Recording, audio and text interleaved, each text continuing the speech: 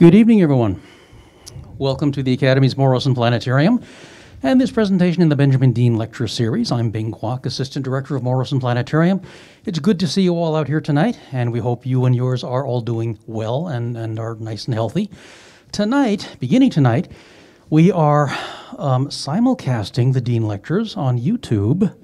So, welcome to the online audience, and for those of you out there, please let us know in the comments where you're watching from. We'd love to find out where you are. Now, there's been a lot happening here at the Academy for the past uh, couple of months or so. We've got two brand new exhibits that just opened up last week. One is called Bugs, if you're interested in bugs. It comes to us from the Te Papa Tongarewa Museum in New Zealand and Weta Workshop. Now, Weta is usually known for movie special effects, but they also are, are into designing interactive museum exhibits. And it truly is a spectacular exhibit with us here through January 22nd. So we, we really, really highly advise that you watch, uh, uh, visit that exhibit. Uh, our other is called uh, Hidden Wonders. It showcases some of the most stunning items from the Academy's 11 research collections. Almost 800 items are in this exhibit alone, uh, selected from the nearly 46 million specimens that reside within the Academy's walls. So that's uh, another interesting exhibit that we certainly invite you to come and see. Now, there are lots of other things that have been happening outside the Academy's walls for the past couple of weeks. This has been a very interesting time, astronomically speaking. Um, how many of you saw the lunar eclipse a couple of weeks ago? A few, okay. The view wasn't great from here. It happened at sunset and it was cloudy that night. I didn't see it. Did anybody see the Tau Herculid meteor shower?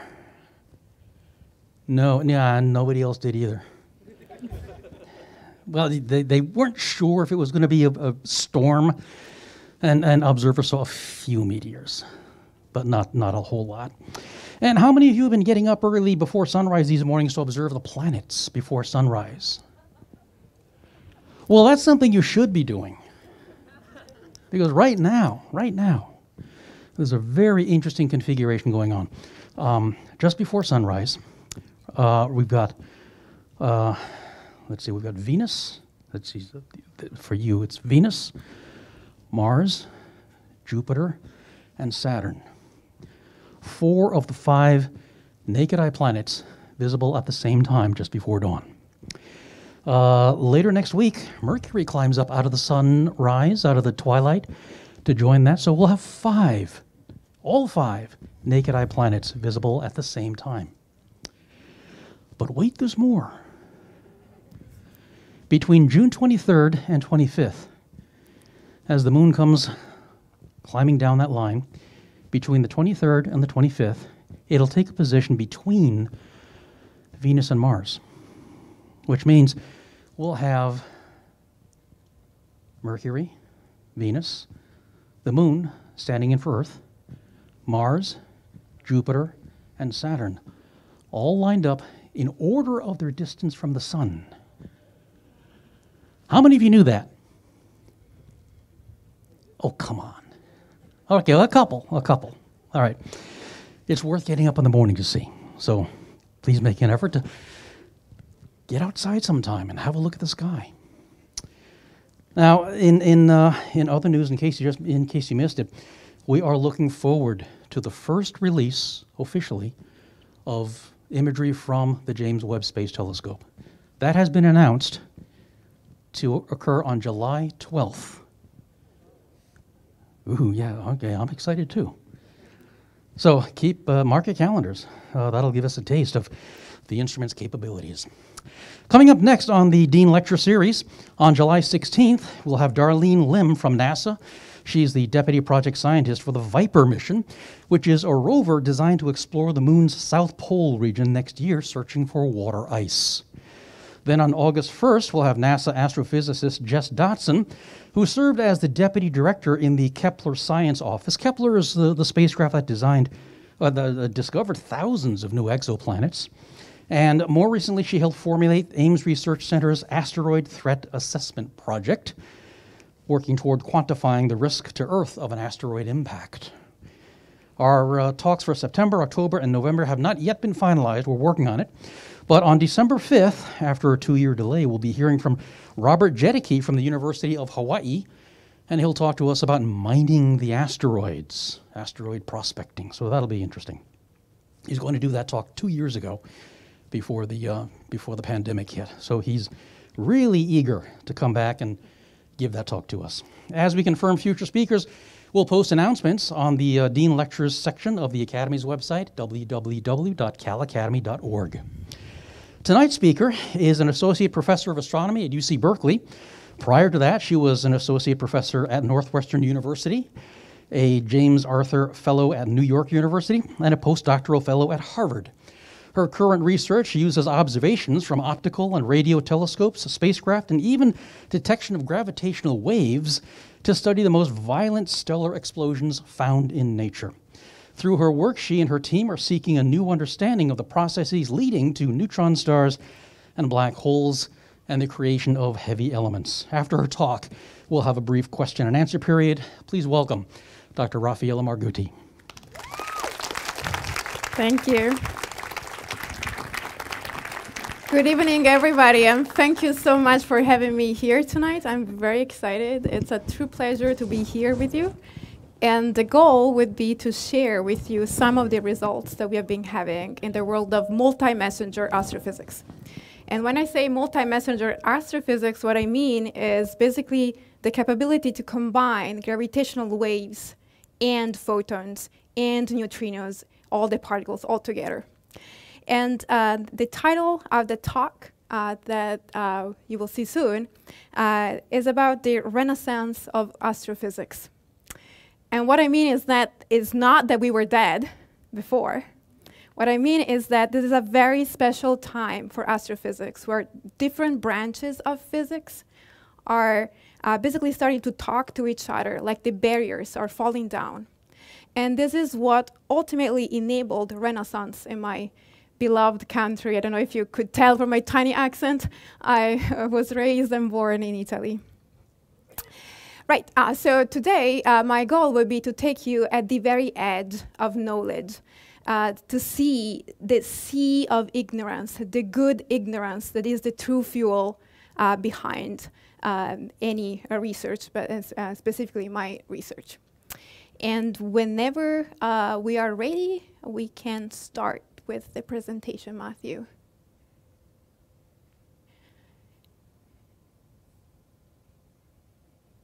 So uh, while that happens, uh, let me tell you more. So not only I want to tell you where we are right now in this world of multi-messenger astrophysics, but also want to give you an idea of our life, like what is the true life of scientists? What do we do during the day? And specifically uh, tonight, what I want to do with you is actually uh, to go back to that day of August 17th, uh, 2017, when uh, we got the alert of gravitational waves coming from a neutron star merger. And, uh, and just take you through all the events uh, of that day together with me. All right, so we're ready. Let's get started. So um, what I uh, what I wanted to share with you is again where is the ignorance? So where is uh, the part that we do not know?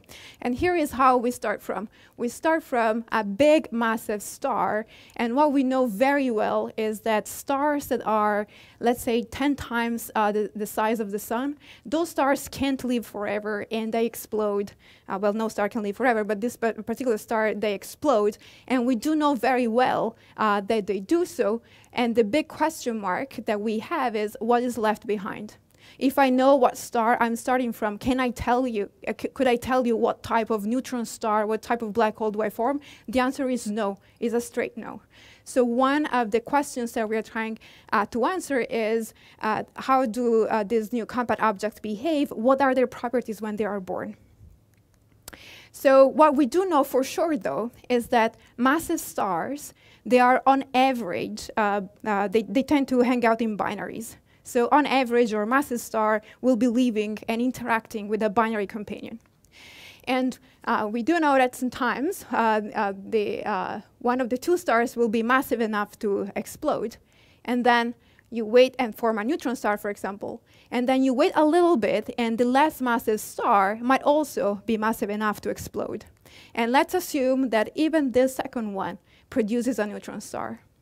What we know for sure is that these neutron stars, and we will see in a while why that is so, those two neutron stars, they can't stay there forever, just uh, rotating one around the, the other.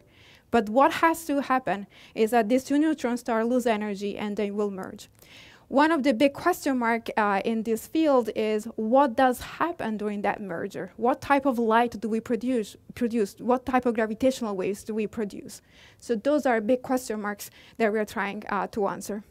So the message that I would like you to bring home is that uh, we do have a big, uh, a big gap in our knowledge, but we live in a very, very special time, in a time during which we can put together uh, light, so all of these photons from the gamma rays all the way to the radio, together with gravitational waves and neutrinos.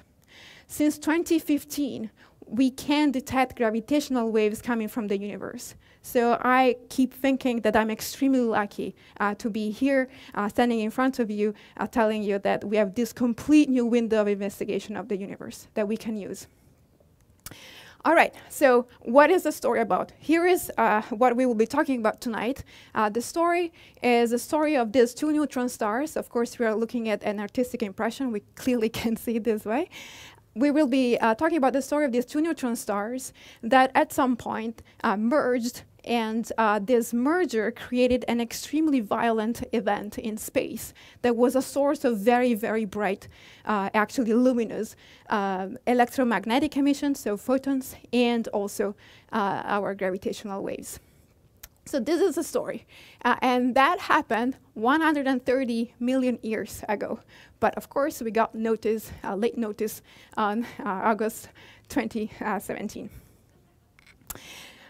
So, all right, uh, so let me give you a little bit of context so that we can appreciate why we got so excited, all the astronomers uh, were, got so excited. So let's start with a tiny bit of context. So first of all, let's try to answer this question. So we know we have to form two neutron stars, so how do we go about forming one? So I'm uh, primarily an, an observer, and I do not believe to things unless I can see it. So uh, we do know that massive stars produce sometimes when they explode neutron stars for the simple reason that we can observe some of these neutron stars being born in supernova remnants in our own galaxy. And I'm sure that you recognize that remnant as the Crab Nebula, so the result of a stellar explosion in 1054, so a thousand uh, of years ago. So we do know for a fact, uh, thread number one yeah, so here we can go maybe to the to the Crab Nebula Matthew, yes.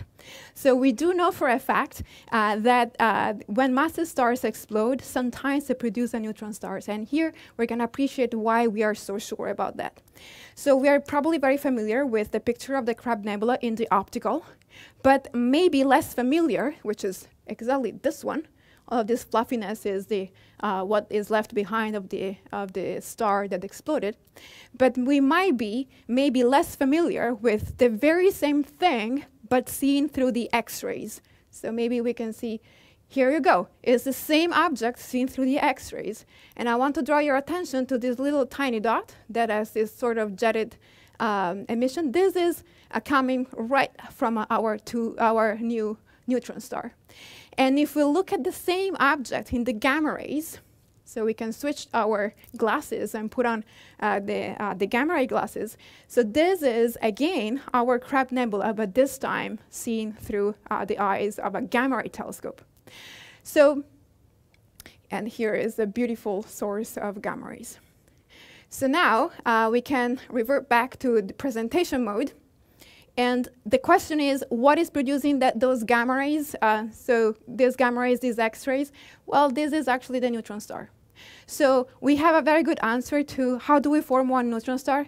Great, easy. Uh, give me a big uh, massive star, and sometimes I know I will produce a neutron star. Sometimes I, I know I might produce a black hole. We still don't know when and how, but we at least know that sometimes we can produce a neutron star. Great. But of course, we're not happy, right? Because uh, to, uh, to go back to our initial story, that's a story of two neutron stars. So now we need two of them, not just one. Well, uh, how do we go about having two? simple. Uh, one possibility is that we start off as a binary system. This is not the only possibility, but it's definitely one possibility. And then we wait a little while, and the more massive of the two stars will explode first. And then we wait a second, we wait a little bit, and then the second one will also go boom. And at the end, we will be left with two neutron stars, which I uh, put here with these gray, um, gray things. But as you might guess, uh, it's not easy to stay with uh, your partner when your partner is exploding. so, so it turns out it is actually very difficult to stay together, and some of these systems get destroyed when one of the two stars explodes. So some, uh, some systems don't survive this stage. And uh, again, uh, when you have the other one that explodes, it's still not easy to stay together. So it turns out if you do numbers that only one out of 10 to the 5 out of uh, 100,000 of the systems can actually go all the way to the end and still be together as two neutron stars. So there is one message that I want you to uh, take home. These systems are rare. So we need to be able to resist until the end. They're rare, but it's not impossible. And actually, uh, we know that uh, neutron star binaries are a real possibility. Great. So up until now, uh, we, we know how to form a couple of two neutron stars. We know that we need to be lucky, but it's possible. And now the next question is, can we just stay there happily rotating around each other forever? The answer is a straight no. And we did know that way be before 2017 for uh, the simple reason that if you take your binary neutron star, that's a name, PSR blah, blah, blah, and you monitor how the orbit shrinks. So here, I don't care exactly what about what this quantity is. What I want you to know is that this is time, this is calendar year, and this is a measurement of how close the two neutron stars are while they are rotating. And what you have is data points, these dots, and then you have a prediction of general relativity, the Einstein theory. So here is just a prediction, and you can see how well, extremely well, uh, general relativity does in explaining why these two neutron stars are getting closer and closer. So what is happening there? Well, this system is losing energy. How? Through gravitational waves. So even way before 2017, uh, we knew, and this was actually a Nobel Prize for Physics, 1993, we had indirect evidence for gravitational waves. This is why uh, people were so persistent in trying to build the interferometers that we will see uh, we're, we are using to detect these gravitational waves. Because there are really good foundations, really good reasons of why these gravitational, gravitational waves had to be there. Great. So uh, thread uh, number three uh, that forms our, our context. And maybe, Matthew, can we go to the gamma ray burst? So since uh, the 60s, um, a source, uh, some sources uh, known as gamma ray burst were known to exist. And I want to emphasize the 60s because there is a reason. So uh, back then, uh, and you can see how a gamma ray burst source, what a gamma ray burst source is. It has some uh, fluffy uh, component that is almost uh, uh, completely equatorial, and then it has a very, very powerful jet that travels at the speed of light. This is what we know right now is a gamma ray burst. But um, and the thing that I want you to bring home is uh, a fluffy equatorial component. And maybe we can rotate around a little bit, uh, Matthew, if you can. Awesome. Thank you so much. So, uh, and then we have a jetted component here, very collimated jet, and then uh, something on the equator. And of course, we need another jet on the other, uh, the other side to respect the law of physics. So this is, this is how, this is geometry of a gamma ray burst source. But let me tell you uh, where uh, these gamma ray bursts come from and how did we get to this, to this picture. So now we can revert back to the presentation. So back in the 60s was a very, very particular historical time. And uh, there was interest in trying to monitor other nations uh, when it came to understand if any uh, anybody was doing some nuclear tests on Earth. And one great way to understand if somebody is experimenting with nuclear, uh, nuclear bombs is to see if there are gamma rays. Those are byproducts of your uh, of your uh, of our um, nuclear tests. So these Vela satellites were put uh, in orbit not necessarily for astrophysical reasons, but to monitor this type of experiment on Earth. And they started detecting bursts of gamma rays that got the name of gamma ray burst. And uh, for years, this gamma ray burst remained a secret.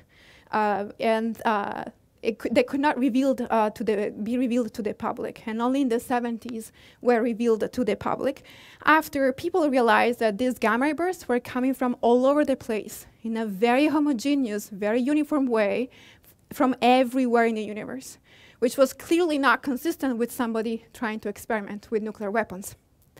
So they were discovered. Uh, they were discovered right there. They became known in the in the 70s, and uh, the the peculiarity of these gamma ray burst sources was that they produce a lot of energy. How much energy? In a few seconds, these sources emit the same amount of energy that the sun will uh, will do during the entire lifetime. So they are extremely, extremely powerful. And uh, astronomers soon associated, or uh, they started speculating about what can, what can produce the, all of this energy. And among the possibilities, there were uh, the neutron, two neutron stars that were merging. Okay, great. So now, let's stop for a second and let's think about what we have seen. Okay, great, you're still alive. Yeah, you're still with me. Awesome. So, uh, what, what, what do we know so far? So, uh, the summary so far is that uh, we do know how to form one neutron star. We know that sometimes we can live forever. Well, we can live forever. We, we, are, we can stay together uh, as two neutron stars, but we can't really live forever as a couple. We need to merge and, and produce something very violent. So, this uh, tells you uh, the three out of the four items uh, that we knew before 2017. So let me now add the last item, which is about uh, the chemical, uh, chemical evolution of the universe. Or if you want, uh, what produces uh, the different elements in our periodic table.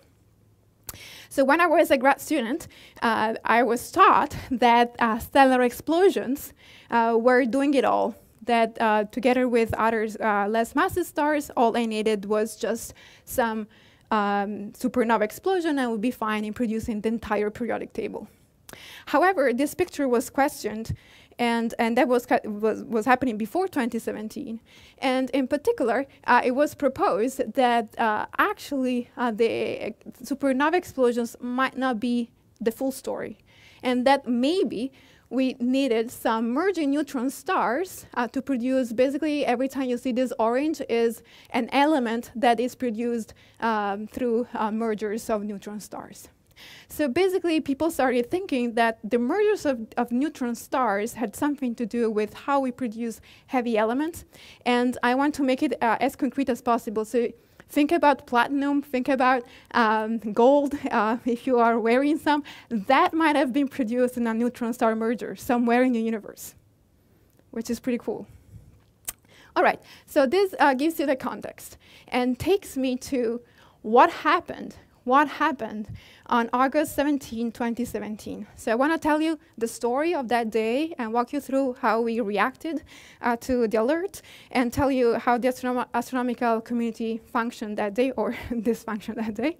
Uh, and I also want to be very, very clear, this is my own story, so it's my own perspective. Uh, there were many people involved, but uh, so I, in no way, I want to be representative of everybody that lived through this, this experience. Okay, so let's, let's get started. So uh, I talked a lot about the fact that we can now use gravitational waves. And let me give you an idea of uh, what, where we were and what happened in 2017.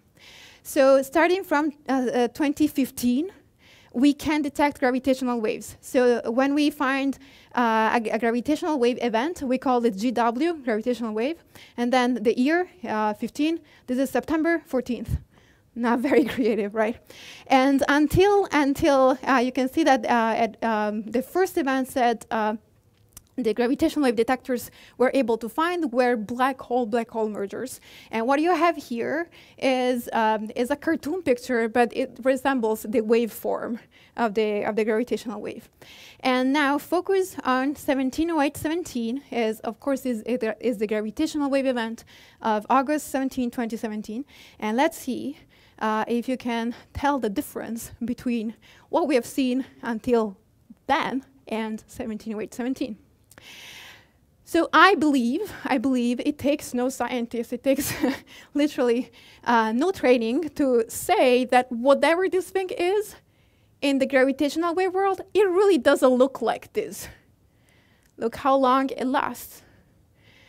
So uh, when uh, we saw uh, this thing coming, we, we understood right away that, okay, this is not a black hole, black hole, black hole, black hole merger.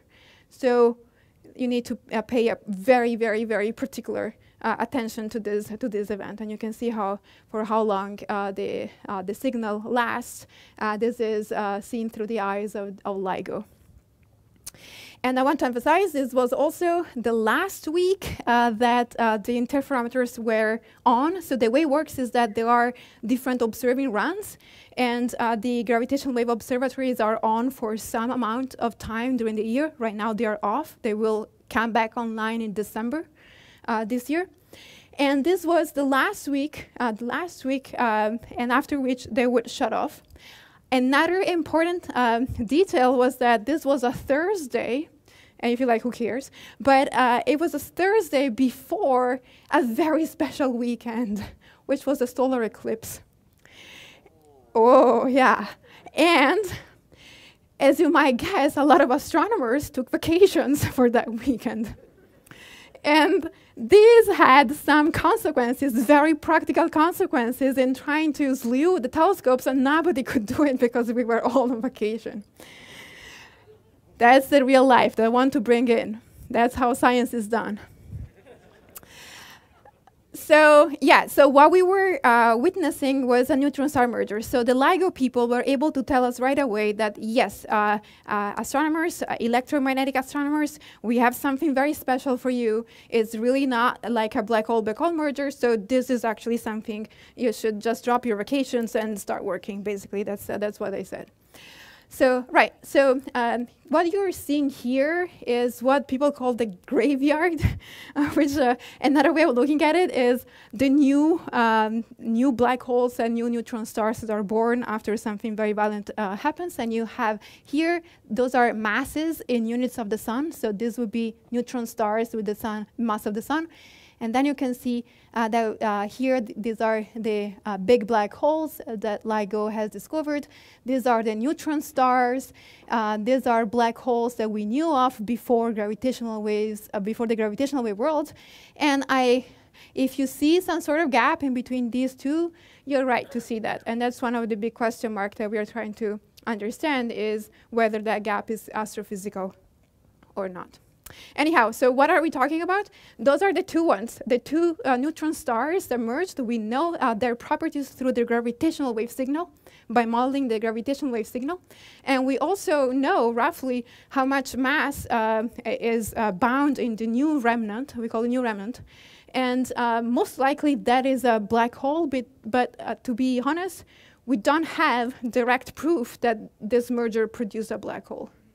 It can be under some um, a little bit of a stretch, uh, can also be a bigger neutron star. All right, so uh, here is a story. Let, let's start. So I'll use Pacific times, and those are real times uh, that uh, as I live through it. So at 6 a.m., we get the alert. So the way it works is that you get paged on your phone. You get the alert here. And actually, if you want to tune into the LIGO alerts, uh, there is actually an app uh, if you want to know uh, if LIGO has detected a neutron star or black hole. It's kind of fun. I always tell all of my uh, students that it's kind of fun to know what's going on in the universe.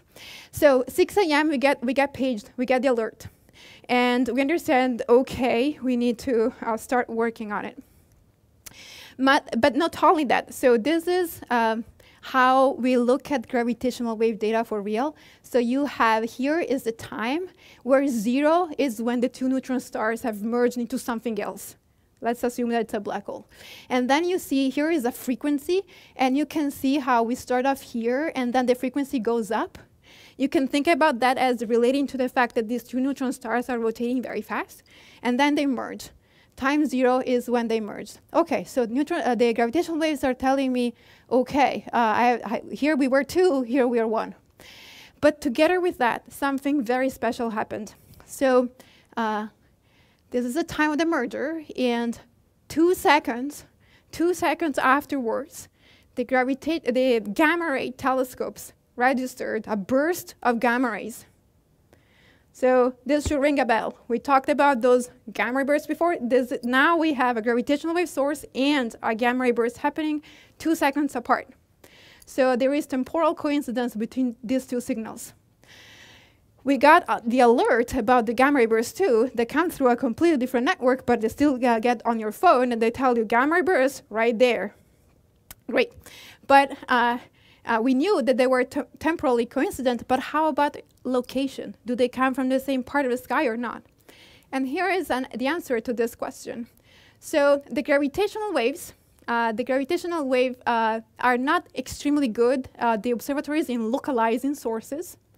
So uh, for all of you that are um, uh, that do uh, that are um, uh, knowledgeable uh, with astronomical observations, gravitational waves typically gives you a localization of tenth of degrees squared, like roughly there.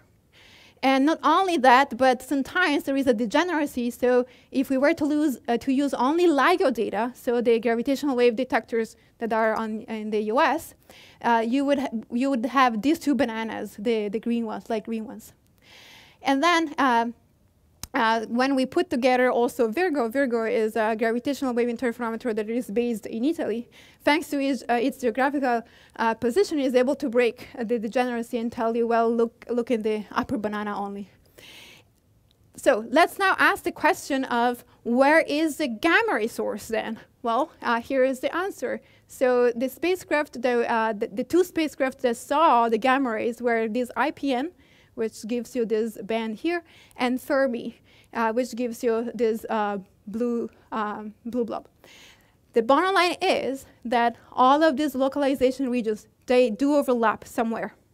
And uh, this is our best localization region uh, that was uh, uh, later refined It was 28 degrees squared. That was later refined to 16, where later me means two years later, so not, not useful that day. All right, so let me quantify, uh, let me quantify how big is that area? How big is that area? It's really huge. It's really huge to search with, uh, uh, with the instruments that we use, because we also need to, to, do, to go very deep. So uh, here is what happened. Uh, it's 6 a.m. Uh, we get the first alert, second alert. We understand this is the event we have been waiting for. We have been preparing for years for decades uh, for this event. We have gamma rays, we have gravitational waves, so most likely this is a neutron star merger. So we should get our act together. But uh, we had, uh, just like everybody else, we had no access to any telescope uh, that was sitting in the dark. So I'm talking about optical telescopes. You need the night, uh, and uh, there was no telescope uh, uh, for which was nighttime that we could put our fingers on. And the same was true for the, all the other astronomers. And for us, the only thing was to wait, to wait for night to come, and specifically where in Chile. So I'm going to review uh, first the setup uh, of, of my team for, for this event. And then we're going to use uh, the superpowers of Matthew to fly around. So, so how does it work? So in, uh, during the years, uh, we have been thinking hard about uh, this event. So we put down a strategy uh, that is as follows. So what you're looking at here is how a gravitational wave interferometer looks like with these very, very long arms. Uh, and the idea was, well, when LIGO sees something, then uh, it pages us on the phone, we are here, and then we start uh, painting that huge area in the sky with an optical instrument that has uh, a large field of view that can cover big area in the skies uh, all at once. And um, when we uh, have paved, after we have paved uh, the entire area and we've found uh, the location where the signal is coming, well, then we repoint the instruments that have a narrower field of view. And here where we were talking about Gemini, which is in Chile too. And then we repoint our X-rays, and then we repoint our radio. Easy peasy, right? Like, what can go wrong? You go from one to the other easy. So now let's uh, let's fly around uh, maybe and see where LIGO is, just to for us to, to get uh, an idea. So the LIGO interferometers are um, not far, actually not too far away uh, from here compared to everything else. So we're gonna fly there, and we're gonna see the two the two LIGO interferometers, one and the other and uh, together with an interferometer that was sitting in Italy, those that were, were the ones that were able to tell us gravitational wave alert, alert, alert. These are the ones. And our strategy uh, that on paper was extremely easy to put into action was, well, we get the alert and then we trigger something in Chile. So we can fly uh, to Chile and specifically, the instrument that we had uh, access to is DECAM, which is uh, on a telescope called CTIO in, uh, uh, in Chile. And our idea was, well, yeah, then DECAM will start just taking very, very, very, very quickly a lot of images of the sky and is going to tell us if something new appeared that wasn't there the previous night. And we're going very close. Very, very, very close.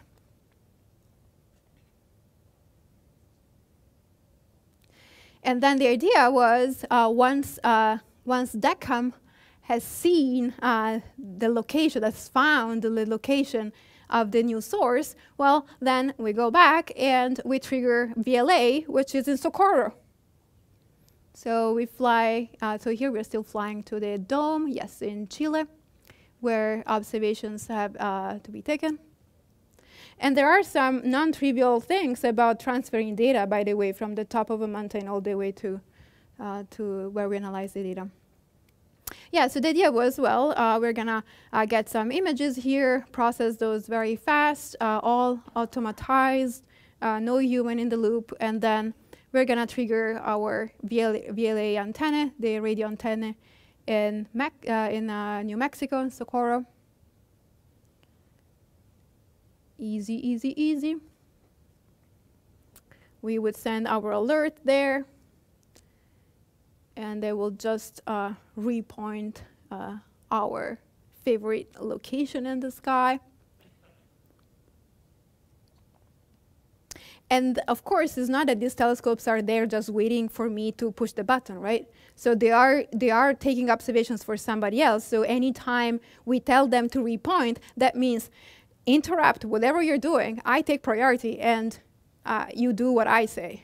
So that is enabled through uh, uh, competition. So we need to, every year, there is a competition for projects and you need to be ranked very highly to have those superpowers to override everybody. In spite of that, uh, it's always good to be very nice because the next time around, you're gonna be the one interrupted. All right, so, and after uh, repointing the VLA, uh, well, then we have to think about space. And we had access to Chandra, which is an X-ray, uh, an X-ray uh, satellite that we uh, are flying to, I believe, right now. And uh, Chandra has a very, very beautiful orbit. So it's not, it's, it's, it's in a high Earth orbit. It means that it goes very, very far away from the Earth which uh, again you might think like who cares? No you should care because that means that chandra can't talk to earth every in every moment. So uh, when when when it, it takes i mean when it comes to uploading uh, the commands or uh, taking the data down well that matters. It matters where chandra this is our chandra x-ray uh, observatory is. Yeah fantastic. So this tells you how we got we got there thinking to be entirely, completely ready to take advantage from uh, what we knew was something, an event that would have changed the way we do astrophysics. All right, so now we can get back into presentation mode. Thank you so much. And this is uh, the theory, and now we'll see uh, what, what happened. So here we are, waiting for Godot, we're waiting for the sun to set. And, uh, uh, and this is the instrument that we are using, is a dark energy camera, DECAM. And uh, I told you that uh, the whole plan was to have our machinery to go through images, do differences, blah, blah, blah. But uh, some, uh, some person in our team is actually a professor at UC Berkeley right now, Ryan, uh, did not really trust uh, the system, and he started looking at images one by one. And this is a telescope that has something like 60 CCDs every image. So, and those are without astrometry, so he didn't know the coordinates, so it was matching by eye. I guess you can do it if you're an extremely trained, well-trained optical observer. And here is uh, what he sent like 30 minutes after the night uh, has come, had come on Chile. So Ryan is a man of few words, and he chose them carefully this is the email uh, that say holy cow holy cow. Yeah so this is the email that really changed changed uh, our personal uh, the life of our team. He told us hey there is something very very very special that is happening in this galaxy ngc 4993 it's uh, this is the galaxy. Check it out. And galaxy is 40 megaparsecs means really close really close for gamma ray bursts. Is the closest we have ever seen. Okay so uh, what caused Ryan to swear? So he was looking uh, at this image. So here I already zoomed in, so it's gonna look like the easiest possible job. This is the galaxy, and you see blah blah blah. And uh, here is what he saw. So let me go back and focus about uh, about uh, this region here. Yeah, so you can see this source wasn't there. It wasn't there, and now this source is there. This source is there, wasn't there the night before. Uh, it is right uh, in the volume where we expected that source to be. It is right uh, in the location in the sky where we expected that source to be. So this is how one of the six independent discoveries of the counterpart, the optical counterpart of that gravitational wave source really happened. So that's a, that's a true story. All right, so uh, this is the first but also only time that we were able to do it. After 2017, as you might have guessed, it's not that we were there just uh, uh, rolling dice and um, playing around, but we failed. We failed. So we are trying hard now to find another counterpart. It is all but trivial. So, so what, you're what you're looking at is the first time that we can say this is the result of a neutron star merger, and this was uh, happened together with gravitational waves, which I think it's kind of remarkable to be here saying that. All right, so what really enabled uh, this uh, discovery is a very precise localization. So Ryan could tell us point right there really, really, really precise localization, sub-arc second if you are uh, fluent uh, with Astro stuff. So easy. Now the game is easy. So this is, uh, it's easy, the game. I know where to repoint. I just need to be very, very nice to my colleagues, but repoint everything I can. this is what we did. This is what we did. We started calling up every possible single director of telescope at every possible time without shamelessly asking them to please repoint that, uh, that position in the sky. And this is how um, all the discoveries about all the other uh, counterparts, so not only optical but X-rays and radio, came to be. So the goal uh, was to put together a completely panchromatic view of this event. So really not wasting any photon. All right. So let's get back to our story. The story is uh, the story of these two neutron stars uh, that merge. And while this is a completely artistic version of the story, it does have some pieces that are really important. And specifically, see this structure with the jet and some fluffiness here? This is real, real not in the, in the sense it looks like this, but this geometry is what we think uh, really uh, applies uh, to this event. And what I want to share with you later is to try to understand what those are, those pieces are, and how and why we, we can say with uh, reasonable confidence that this is what we're looking at. So again, there are two, uh, this is the picture that I want you to keep in mind, and there are two uh, key geometrical components. So there is something that is uh, almost spherical, and we will see this is where the heavy elements are produced, the gold, the platinum, right there. And then we have some jets, so something that is uh, extremely uh, narrow and collimated, but that goes at the speed of light. Those are the ones uh, that produce the gamma rays right here. So uh, let's see where we are. So 12 hours, uh, so gravitational wave trigger, 12 hours after. Uh, why 12 hours? Because we needed that night to come down. And then we were able, together with other five teams, to find this counterpart Great. So we were able to repoint the whole uh, VLA, very large array, uh, the radio antenna, very, very, very fast. And 13.7 hours after the trigger, so just one hour after here, we were already on target. This is absolutely remarkable. It could not have happened without uh, amazing efforts by, uh, by all our um, telescope operators. Really, really amazing efforts there. So um, let's see how things look like in the radio. Uh, you saw the little, the little ball in the optical, great. So how do things look in the radio? So, and again, what we think is that the radio is, uh, what we see shining in the radio is the jet, the jet component. All right, so this is the image, the radio image, and we got extremely excited. When I saw this image, I was jumping up and down, and I thought, this is the source. The reason why everything looks so elongated is just because the source is very close to the horizon, so you don't see the real shape, you see the shape through the eyes of your telescope. But great, I thought, yes, we got it. But then we put on coordinates, and uh, the actual position is this uh, yellow circle, and no, I have nothing inside there. What I'm looking at is a radio emission, that's very true, but from what? From the galaxy that is hosting this merger the nucleus of that galaxy was and is radio bright. So while all the optical people were having a lot of fun with their photons in the radio, we were silent. Nothing. All right.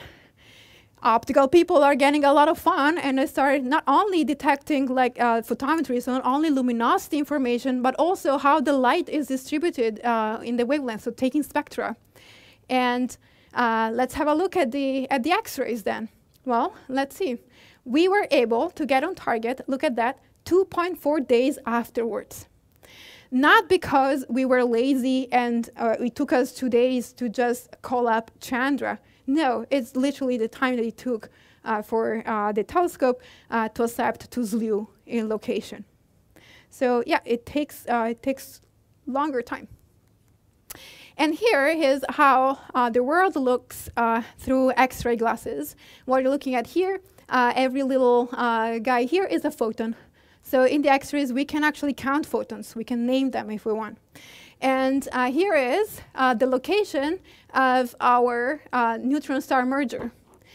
And I don't think I have to convince you that there is absolutely nothing. Those two photons is background, unrelated background. So just like for the radio, the X-rays, the X-ray world is still without a single detection at two days. So the optical people are having a lot, a lot of fun. And uh, look at the, uh, this is a, a simulation of, of, the fluffy component. And you can see how uh, the transient evolved with time. So this is a luminosity and this is time. And you can see how the transient produced a blue component uh, that was very, very uh, fast uh, evolving. So it went up and down very quickly over uh, time scale of a few days. And then uh, it also produced a longer lasting component, the red, uh, the red curve here, that lasted, let's say, 10 days-ish, which is the place where we form the heavy elements. But the bottom line is that the optical world was really shining bright in the first two weeks. And while the optical world was enjoying uh, this amount of photons and already reaching an extremely important conclusion that this is the place where we form the heavy elements. So let me take you, let, let me just say one word about it. So why, why we're so sure. So what you're looking at here is how the how light is distributed in the near infrared as a function of the wavelength. And these wiggles, so uh, these wiggles of this spectrum is what is telling us that we are forming uh, the heavy elements. And you can see a fantastic theoretical prediction uh, by uh, Dan Kasen, he's also a professor at UC Berkeley, uh, where you can see that he predicted the wiggles, and this is, trust me, is extremely good agreement since he did that before the event. So basically, the optical people were getting a lot of fun because they already concluded here, here we are sure we formed heavy elements. So for sure, we found a new place in the universe where heavy elements uh, can be formed. And while all of this was happening for uh, the optical people, radio X-rays were really not doing anything at all. We had no detection at all. But after a couple of weeks, finally, we started seeing X-rays and radio. And uh, let me just show you uh, in the X-rays, after 15 days, this is 17 weight 17. These are maybe 10 photons, maybe 10 photons but these are the most beautiful photons I've ever seen. these are the first X-ray photons uh, that we have ever detected uh, that we can say for sure are coming from a neutron star merger. So these are my favorite photons by far. All right, so great. I thought, yeah, great. Uh, now I can start having some fun too, not only the optical people. And the same thing happened for the radio. So we will see X-rays and radio, uh, even if they come from two opposite ends of the spectrum, they're actually physically very related. The optical, even if it's in between, it doesn't, it doesn't talk to the, uh, to the X-ray and radio. So uh, what, are we, uh, what are we looking at? So of course, we started getting a lot of fun. And uh, this is real life, right? So we started getting a lot of fun. We started uh, thinking, okay, now we have X-rays we can study. But there is one thing that happens in astronomy, which is the fact that we do have a star that is reasonably close to us and reasonably important for our existence that sometimes just get too close to your source, and that means that you can't observe it anymore. So uh, for us, after two weeks, uh, the, uh, the X-rays could not, so the, the spacecraft, the X-ray spacecraft could not report 17 anymore because it was too close to the sun. So the optical was also not accessible, but you know, the optical had already uh, gone up and down, so uh, not a major loss. The X-rays were starting to rise, and when and after they did, we could not observe.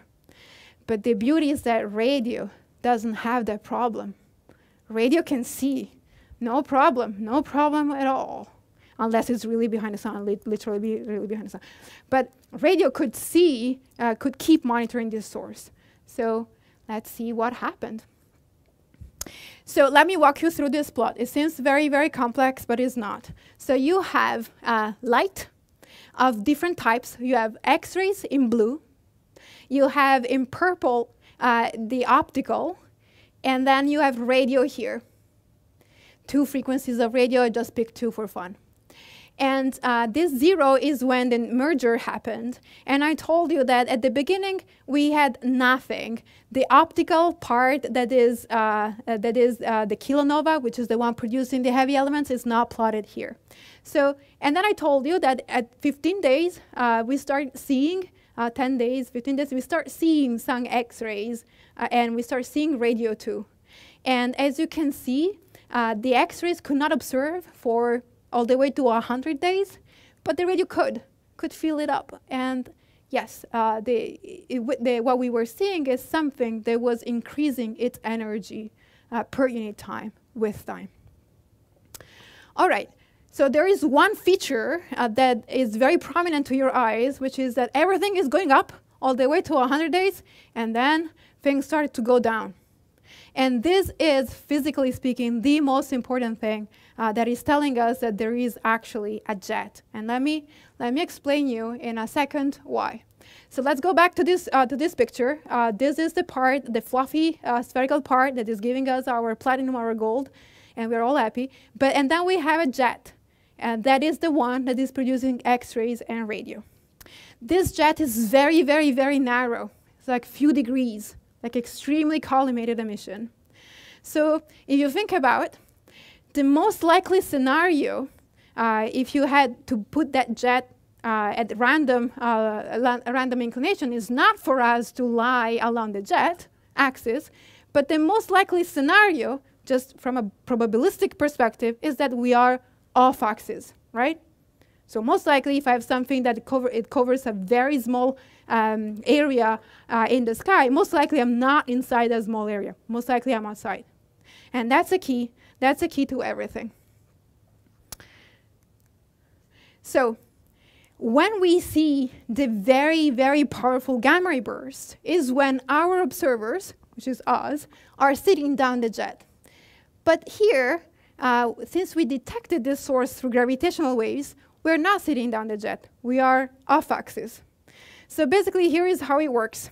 So suppose that I, um, I am uh, the one that produces the jet. Pr I produce a jet right there, very, very collimated, and you are the observer. At the beginning, you don't see me because I produce all of my light right there. So you are in the blind. But as I decelerate, why I decelerate as a jet? Because I'm interacting with my environment. As I decelerate, special relativistic effects become less prominent. So what happens is that the cone of light that I'm producing, as I'm decelerating, widens. And at some point, you, the observer, will see me, right? So we start off with something that is very collimated, and then it decelerates and opens up. And at some point, even if we were not in the cone, we start seeing it. This is exactly what is happening here. So uh, this is my cartoon picture where you have the cone that widens until our off-axis observer starts seeing some light. And this is uh, the ultimate reason why we see some uh, rising uh, portion of the light curve first, and only after we start going down. And by studying, uh, like quantitatively, uh, the properties of this type of emission, I can tell you uh, the properties of the jet. How much energy was there? How was that jet decelerating? And, um, and how much mass was in, in the environment, just, uh, just through dynamical uh, calculations. All right, so uh, if we now go back to these events in August 17, 2017, that we know come from two neutron stars uh, that merged. What we have learned is that we have the fluffy component that uh, in, uh, we call it kilonova. But and then we also have some ultra-relativistic jets, and for the first time we can associate these ultra-relativistic jets, which are the gamma ray bursts that were detected in the 60s, for the first time, we can associate them very, very confidently with a physical picture of these two neutron stars that were crushing uh, one uh, against the other. So all of this happened in 2017. Is this over? No. So this thing is still producing photons uh, that we can detect. And uh, the last photons that we could detect were in the, in the X-rays. They started later, but they keep, keeps on giving. And uh, let me uh, just go fast forward to the present uh, time. So what you're looking at here is uh, a picture of the galaxy in the X-rays, and this is where 170817 is. And this was taken 3.5 years after the merger. And in no way, if you, if you ask me in 2017, Raf, do you think that uh, three years and a half afterwards you will be still here studying the same event? I said, no, please, no. I will, no, absolutely no. And no, we are still here. There is no, no reason why these x-rays should be here. We don't know why they are so bright, but they are. So this is one of the puzzles that we're trying to understand right now. And if you look at the same picture, but in the radio, you can see that uh, there is nothing that we can see instead which is also puzzling because I told you X-rays and radio, they go together. So the reason why uh, we uh, got so excited about these late time X-rays is because, here I don't go into the details, but that uh, this uh, source of X-rays that you see here, this might be related to what type of new object has been formed. It might be related to, am I formed, did I form a new black hole or did I form uh, a new, uh, bigger neutron star? And one very exciting explanation for these X-rays is that they might come from that uh, new black hole that is accreting mass, basically is eating up whatever was left behind by the two neutron stars that were merging. And that's uh, what we are studying right now uh, in, my, in my team. And uh, there are um, uh, yeah, we are trying to uh, basically answer the question what was formed. And there are new observations that are coming in. Actually, the, they came in maybe a couple of weeks ago that we are analyzing. So uh, stay tuned. Uh, these are the last photons from, from this event. And the last thing I want to mention is uh, what we are doing uh, here at Berkeley uh, to actually get ready for the restart of the GW interferometer, interferometers that is planned to be December 2022, second half of December 2022 which is a very interesting uh, restarting date. And uh, we are building um, uh, a new survey that is called LS4, La Silla Schmidt Southern Survey, uh, that is uh, PI'd by Peter Nugent. And the idea is basically uh, to use this telescope without having to beg for um, like favors, uh, but use this telescope to paint uh, the gravitational wave uh, region and find, discover the optical counterparts, and then repoint all the X-ray and radio that, that, I told you about. So that's how we are trying to get ready with all, uh, with all the uh, help by COVID. Uh, we're still trying to make it, and I also want to point out, I always like this little donkey here in the picture. And I believe that's all. I really want to thank you for all of your attention, and I'm, I'm really, really grateful for, uh, for you to be here. Thank you.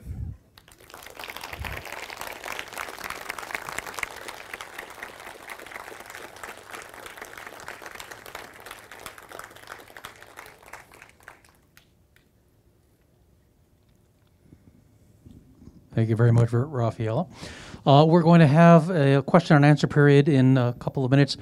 For those of you who are unable to stay for that, uh, feel free to exit out through either the top or lower exits. Um, Mary has one microphone, I will have the other one. And since we are also now online, uh, Jackie in the back is going to be monitoring uh, any comments or questions that come in from that audience. And uh, every now and then we might uh, just switch off. Uh, we'll take a couple of questions from here and then see if there's anything online. Uh, so if you have a question, just raise your hand, and either Mary or I will get the microphone to you. One is right in the front here. So, looks like Mary will get there first. Thank you very much. That was a fascinating presentation. Really enjoyed it. You mentioned that among the multiple sources from which you observed this uh, neutron collision, neutron star merger, that one of the things was neutrinos, but you didn't say anything about that in your presentation. And secondly, what are the odds of getting another neutron to neutron gravity wave kind of observation within the next few years. Uh, have you looked at the statistical probability? Yeah, so I'm going to repeat the question because I'm not sure everybody could hear. So the first question was, well, I sold you the neutrinos, but then I didn't tell, didn't tell you anything.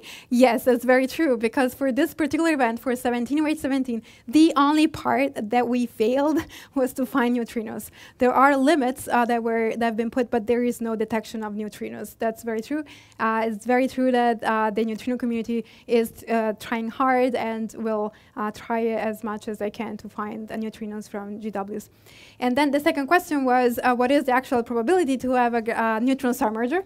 And uh, so uh, I have to say that uh, there is already another neutron star merger that has been seen in gravitational waves. But here's the issue. So the horizon of gravitational waves uh, grows as one divided by distance. So uh, it means that their capabilities to detect stuff uh, goes like one over distance. For us that uh, work with photons, uh, our horizon uh, scales like one over distance squared. So we are easily, easily outnumbered by the gravitational wave interferometers, which means that the uh, gravitational wave interferometers on average can see farther than we can right now.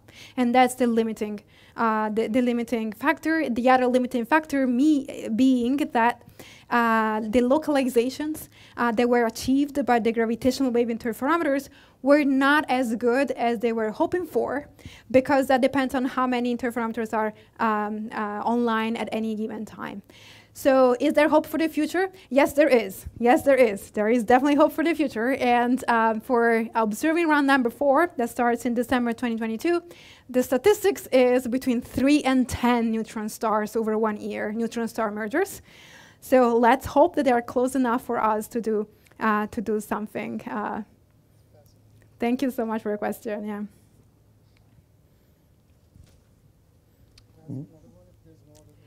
I think there is.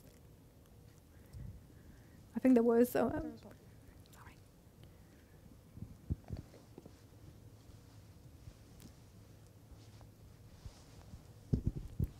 So uh, first of all, I want to say like you had wonderful, wonderful presentation, and um, the question is, what dictates the uh, direction of the what do you call it, the gamma rays? Oh yeah, so yeah, what is what it takes the direction of the gamma rays? So the gamma rays are mostly coming from the jet. Mm-hmm. Uh, so wherever the jet is pointing, you're gonna produce gamma rays. Yeah. But- um, is but- there any predictors to that? It related to the orbit of your neutron star couple, of the two neutron stars. So most likely the jet is oriented perpendicular to the orbit. But with respect to Earth, of course, that can be uh, in any in any possible configuration. Uh, a follow-up question: Does the jet have to hit Earth or the satellite directly for the satellite to detect it?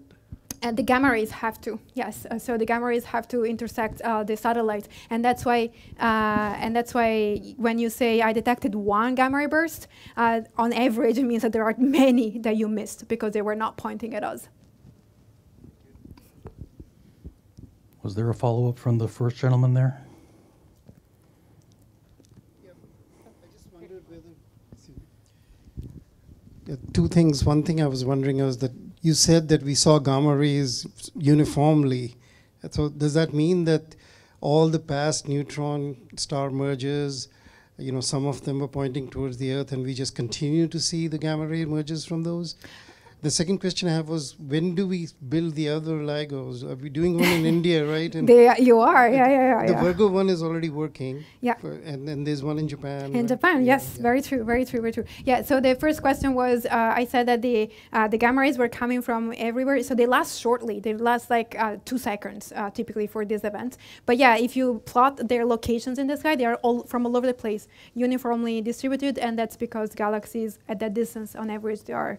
Yeah, uh, distributed that way, and that's you're very right. Uh, together with LIGO, uh, there will be um, uh, Kagra, which is a uh, Japanese one uh, that will be able to join probably LIGO at least for some portion of time. LIGO Virgo is also joining, and and then there is LIGO India that will eventually join, and that will be extremely extremely powerful. So the more you have, the best it is because it allows us to localize better. So that's that's the game. Yeah.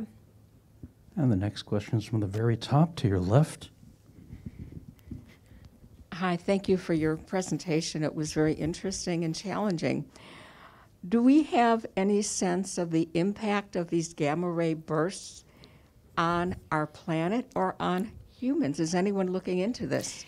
Yes and yes. Uh, so, so uh, the good news is um, that uh, our own galaxy uh, is most likely not a good place uh, to produce. The probability that it will produce a neutron star merger while we are alive is, is very very tiny. So the, we would be in troubles uh, if there a gamma ray burst were to happen in the on our own galaxy and if it were pointing at us on Earth. There are studies that actually demonstrate that yes, we would be in deep troubles in that case. Yeah, uh, but uh, most likely uh, that will not will not happen. Okay, Next one is also at the top, but on the other side. Oh yeah.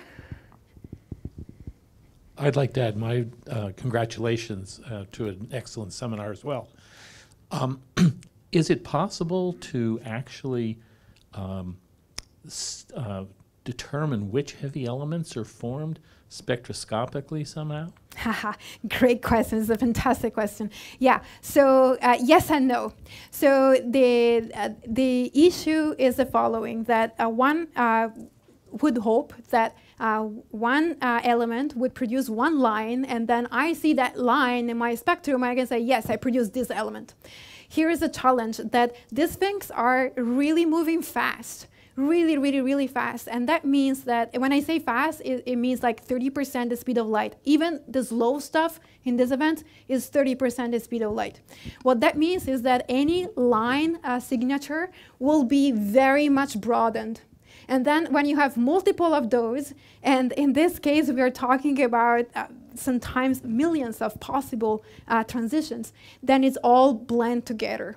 So people have been working hard uh, to try to play the game that you are saying, uh, to go from this is the signature, this I tell exactly what element you produce, and there have been uh, claims of uh, uh, strontium found in this particular object. I would say that this uh, very, very solid scientific statement is that we do know that we are producing what we call r-process material.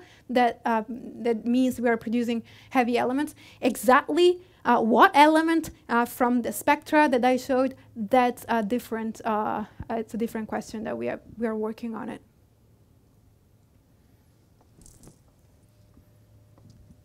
One more from the top there on the right-hand side. Mary is, okay, there are two on Mary's side.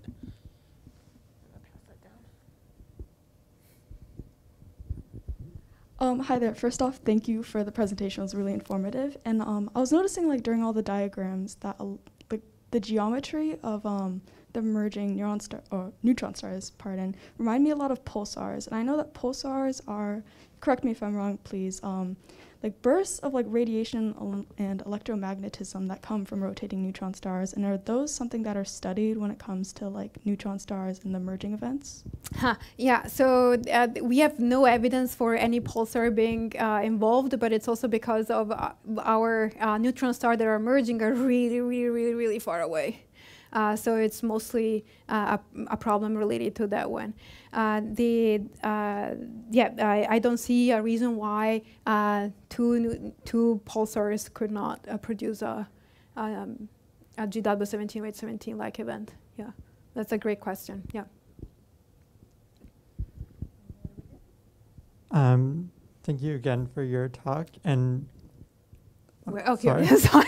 sorry, I was trying. Okay, all right. um, you mentioned multiple times that um, radio waves and X-rays share a lot of properties um, that are like not shared by the middle of the electromagnetic spectrum. Um, why do those specific ranges like share Yeah. a lot of their properties? Yeah, great question. So the reason uh, has to do with the magnetic fields uh, that were mentioned uh, not too long ago with the, with the pulsars. So basically, uh, X-rays and radio, they are synchrotron emission. So this is emission that comes from every time you put an electron in some uh, magnetic field, it will produce uh, this type of radiation that we, we call synchrotron. So synchrotron uh, has a very broad uh, spectrum, so it will illuminate the whole thing from the gam- from, for the gamma rays all the way to the radio. So even if the X-rays and radio are very far away in the in their spectrum, they are actually the same physical component. And of course, uh, it's not that in the middle that uh, stops. So the optical as well gets some synchrotron emission, but on average, the optical is completely dominated by that other component that we call thermal component that produces the heavy elements. So you have to wait for the heavy elements uh, part to be over before the optical also joins X-rays and radio in that very broad, broad spectrum. Yeah, awesome. One from the fourth row down, right in the middle here.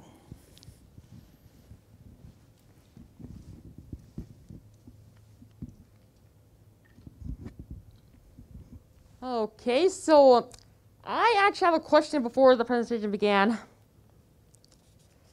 Yeah, so anyways, uh, like last week I was checking my email and so far, like, I think there's a new exhibit coming soon. Either that's already here. If so, then uh, where's located?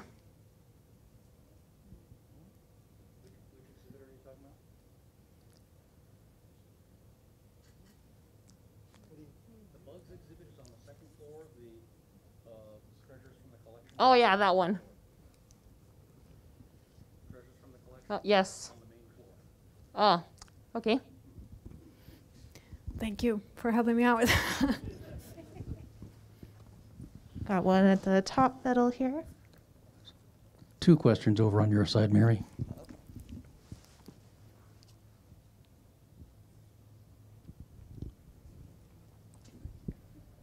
First of all, thank you for the presentation, very informative. Um, so you said that um, you're thinking that GW 170817, I think I got that right, Yeah. is um, you're thinking that it's formed a black hole. Mhm. What would it? What Hmm. would you be expecting to see if it were actually formed a neutron star? Haha, great, great, great question. Thank you for asking. So here's the thing. So if we, uh, the, the huge difference when we form a black hole and if we were to form a neutron star is that if we form a black hole, we can dump a lot of energy inside and that is lost forever.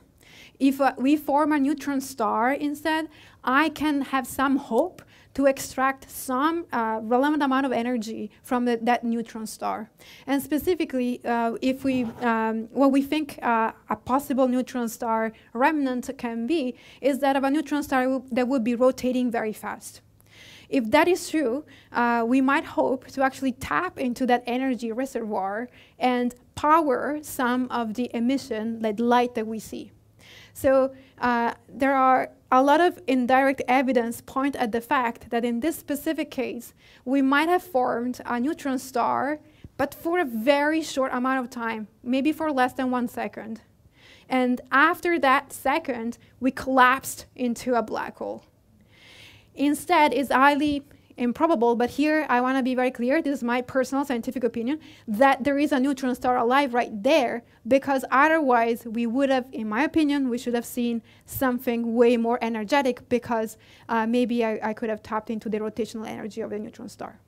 Um, a second level, a bit deeper uh, answer has to do with the colors of that uh, kilonova that I showed. And I showed you that it has a blue component and a red component that color also has to do with the life of a uh, intermediate stage of a neutron star. So the fact that it exists means that probably an intermediate stage of a neutron star was there, but uh, the fact that later on we didn't see as much energy means that most likely the neutron star has collapsed into a black hole after one second ish. Our inaugural online audience is being very shy. so there was another question on Mary's side, right there.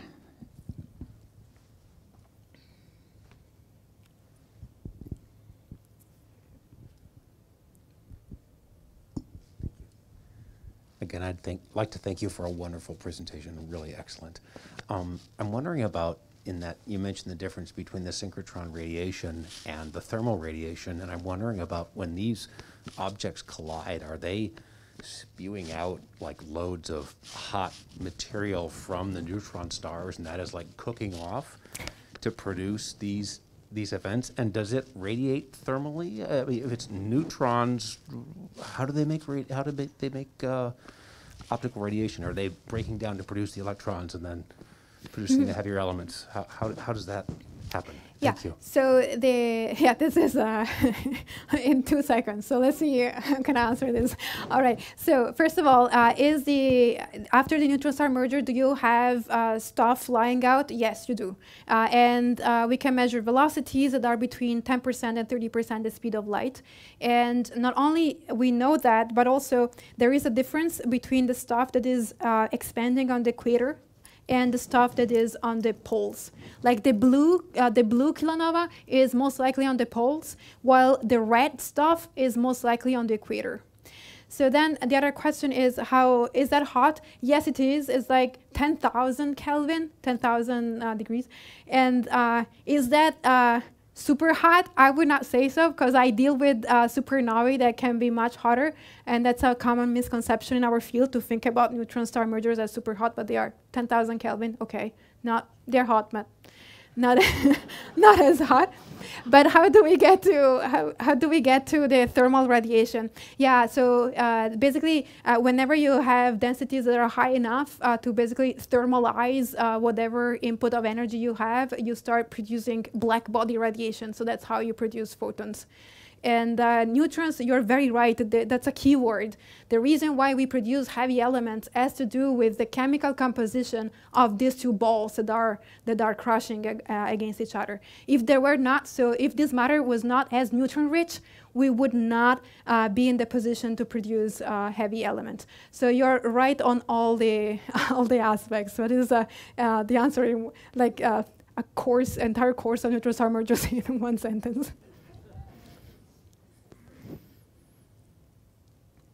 And if there are no, the one more question. Three more questions. the last minute rush.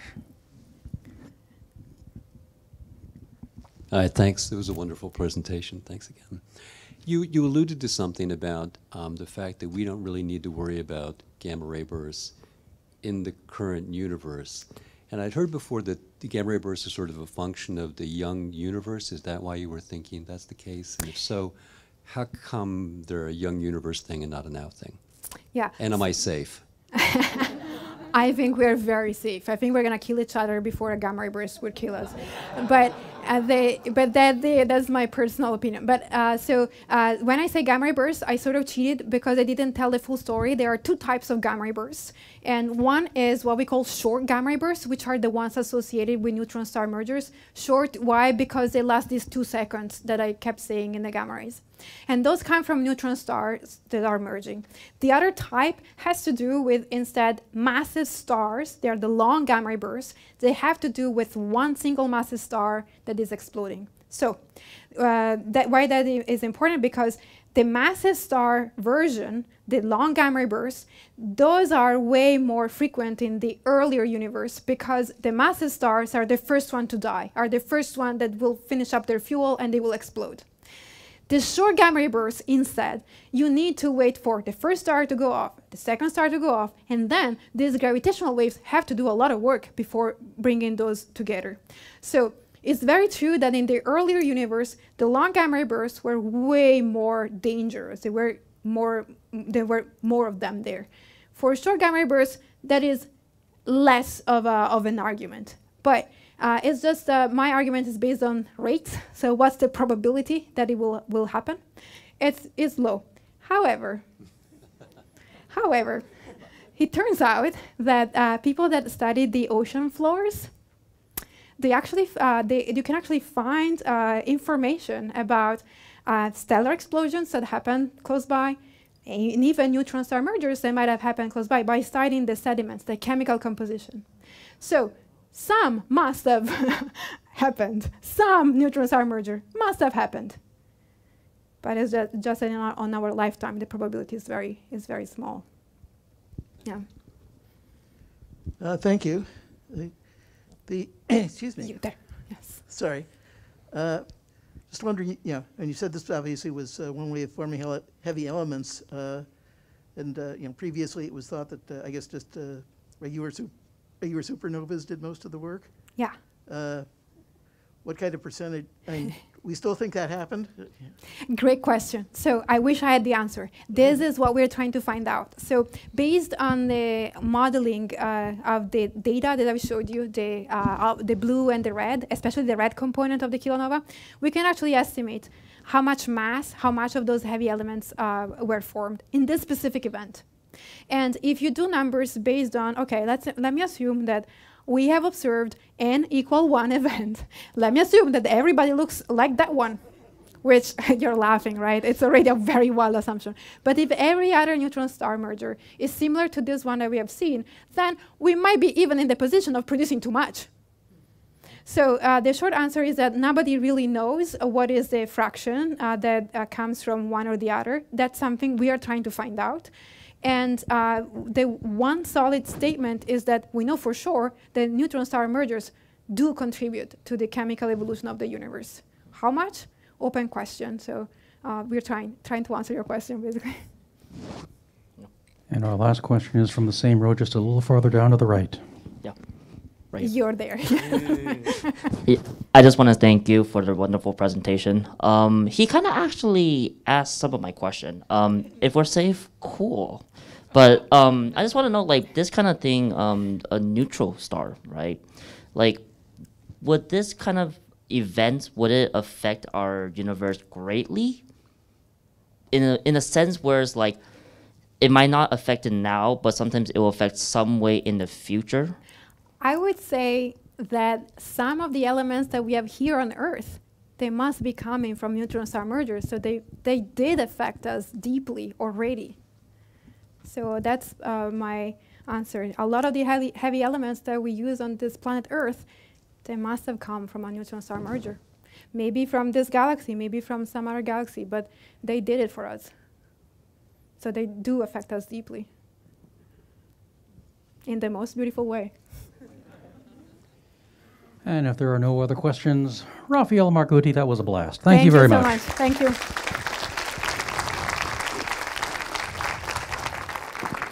And ladies and gentlemen, thank you all very much. Our online audience, thank you for tuning in. Our next talk is on July 16th when uh, we'll have someone talking about the Viper mission searching for water ice on the moon. Thank you all very much for joining us. Have a safe trip home.